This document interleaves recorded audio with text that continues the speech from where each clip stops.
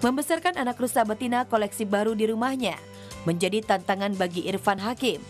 Bapak lima anak ini optimis mampu memelihara dan membesarkan hewan yang suka makan.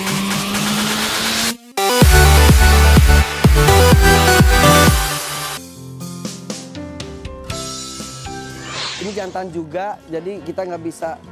Aduh, astagfirullahaladzim. Ini keras banget ya?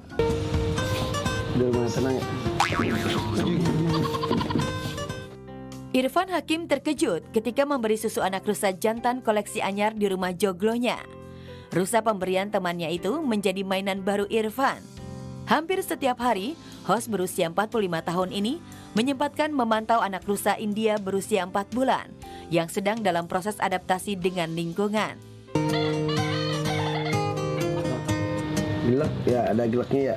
Mm Ini, ini minum lagi. Minum lagi. Ah, ah. Pinter. Ah. Kamu harus minum. Berarti dikasih sayuran jantan tadi. Guys, masih susah minumnya, masih stres. Terus tapi apa?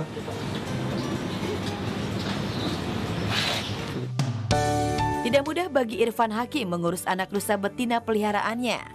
Selain belum memiliki pengalaman memelihara anak rusa, hewan yang mudah stres itu pun belum terbiasa meminum susu memakai botol. Irfan bersama asistennya berusaha sabar dan harus bersikap lemah lembut memperlakukan anak rusa pemberian temannya itu. Karena sebelumnya, satu anak rusa jantan yang menjadi pasangan anak rusa betina yang sedang ia pelihara mati lemas disebabkan stres ketika baru sampai di rumahnya. Duh, sayang banget ya, A. Irfan. Jadi sayang banget yang jantannya itu ketika sudah diangkut ke sini eh, lemes. Terus udah gitu eh, meninggal. Sayang banget. Jadi ternyata baru nanya-nanya ke orang kalau misal itu tuh kalau misal e, rusa itu memang katanya nggak ada itunya apa empedunya. Jadi dia itu nggak bawa stres nggak bawa capek. Jadi kalau dia ca- capek stres oh lemes mati. Dan ini alhamdulillah yang betinanya sih selamat ya gue pengen jantan lagi yang lewat yang jantan lagi ya. Halo nama kamu siapa nak? Mau kasih nama siapa sih nih? Katanya kamu suka itu ya sedot-sedot jari ya? Ini sudah jinak ini.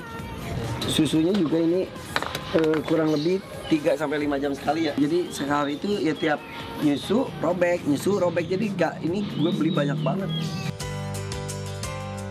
Membesarkan anak rusa betina koleksi baru di rumahnya menjadi tantangan bagi Irfan Hakim. Bapak lima anak ini optimis mampu memelihara dan membesarkan hewan yang suka makan rumput dan wortel itu. Ya, semoga berhasil ya, A. Irfan. Oh.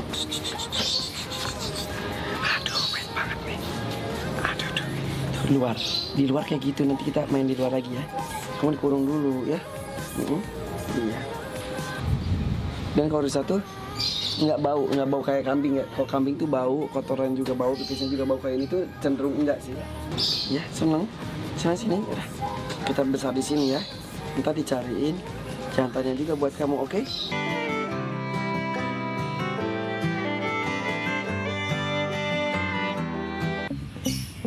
belum berani keluar biarin deh kita diamin gitu dulu deh